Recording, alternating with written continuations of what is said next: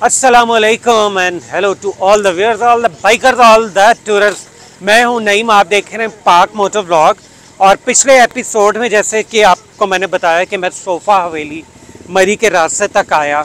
अब यहाँ से वापस जाने की वीडियो आपको दिखाते हैं और सारा एक्सपीरियंस बताता हूँ।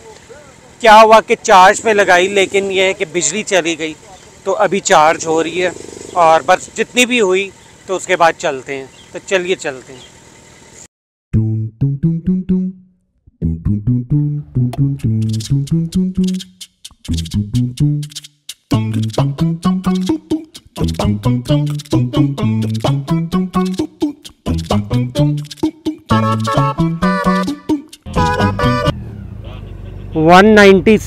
किलोमीटर मैंने चला दिए मोटर बाइक, जी टोटल जब से ख़रीदी है तो अब इधर से व्यूअर्स, हमारी है रवानगी.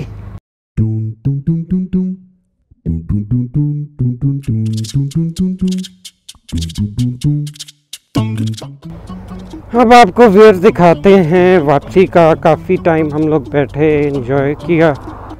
ओके पहले लेफ़्ट जाना पड़ेगा हमें।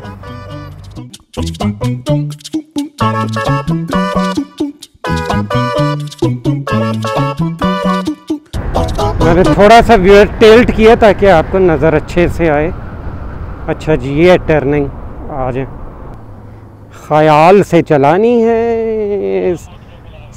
जी जी स्पीड भी नोट होती है। हम तो वैसे ही अब इसको आराम से चलें, चलाते मैं इसको मोड वन में कर लेता हूँ जी।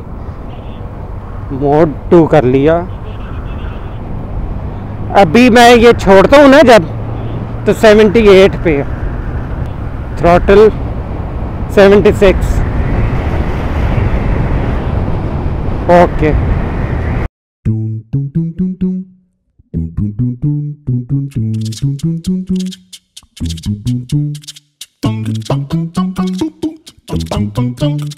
dum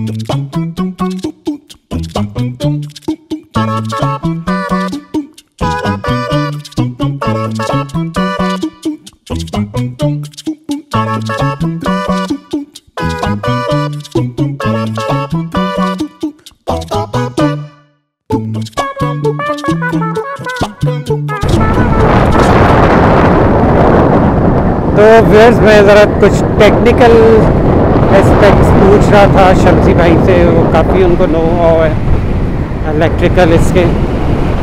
तो one two three mode basically यानी आज मुझे उन्होंने समझाया कि ये आपके एम्पेयर जो बैटरी ने देने होते हैं, उसको रिस्ट्रिक्ट करती है, जो मुझे नहीं पता था।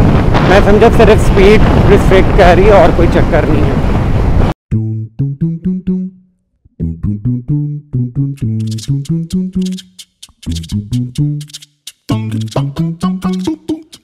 Dum dum dum dum dum dum dum dum dum